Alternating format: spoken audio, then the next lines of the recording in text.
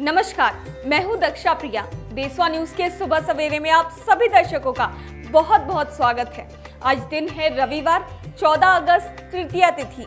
आइए अब बात करते हैं खबरों की, जिन पर नज़रें हैं देश और दुनिया की।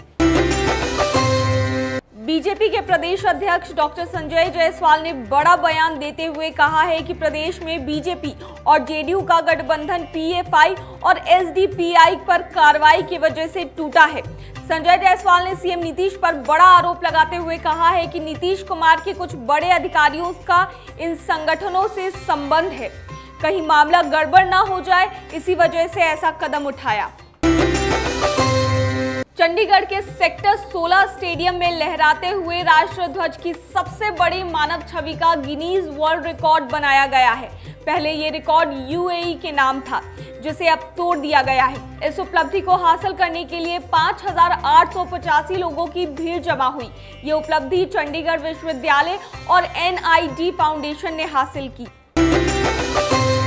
15 अगस्त को लेकर खुफिया एजेंसियों ने देश की राजधानी दिल्ली में आतंकी हमले का हाई अलर्ट जारी किया है। अलर्ट के बाद दिल्ली पुलिस ने चौकसी बढ़ा दी है।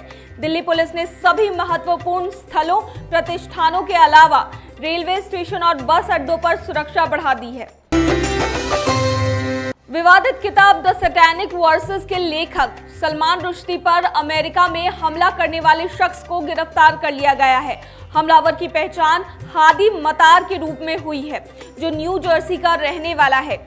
जानकारी के मुताबिक मातर न्यू जर्सी के फेयर व्यू स्थित अपने घर से यहाँ लगभग 650 किलोमीटर ड्राइव करके पहुँचा था।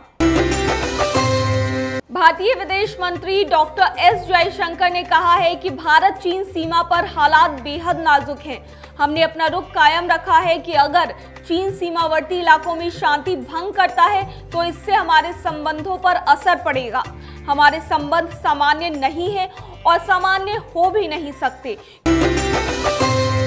महाराष्ट्र में लंबे इंतज़ार के बाद सीएम एकनाथ शिंदे ने कैबिनेट का विस्तार तो कर लिया है, लेकिन मंत्री पद नहीं मिलने के कारण कई विधायक अपनी नाराज़गी भी जता रहे हैं। यही नहीं, विभाग के बंटवारे को लेकर एकनाथ शिंदे और बीजेपी में खींचतान जारी है। सबसे अधिक आलोचना मंत्री परिषद में किसी भी महिला को शामिल न किए जाने को लेकर भी हो रही है। आरबीआई ने नोटिफिकेशन जारी करते हुए कहा है कि रिकवरी एजेंट्स की करतूतों को कतई बर्दाश्त नहीं किया जाएगा। रेगुलेटर या उनके एजेंट्स कर्ज की वसूली करते समय डराने, धमकाने गाली गलौज या हाथापाई नहीं करेंगे।